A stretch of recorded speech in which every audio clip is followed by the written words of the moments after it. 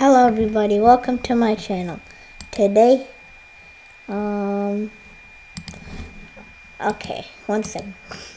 Today, um, I'm gonna teach you how to get Minecraft skins. I've been struggling for this like, since I was six, because I was jealous of all my friends. I was kept asking them how do they get their skins, and then they kept telling me they bought them. So this is free. So. I think a lot of people already know about this. And then search Skindex and then click on the first link. And then he, these are the top skins. But if you want, you can you, you can get skins from here.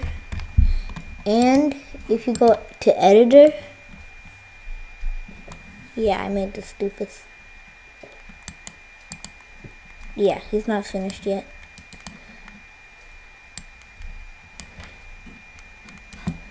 And then there's also this like you can like do that. Bop bop. There you go. He's called red boy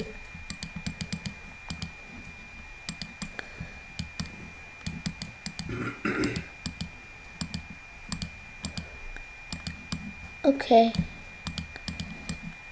Now, there you go.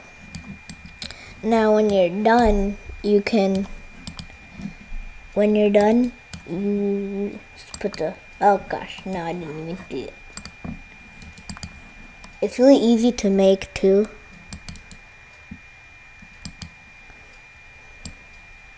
There you go.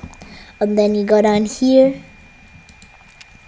You can either you can share it to the Skindex or you can download it. Except don't know, don't do it this. Don't do this because um, this you just get something back from your computer. You need to download it into your computer already. So now it'll be loading. And then if I go over here, wait. If I go to Minecraft Um. Okay, so okay.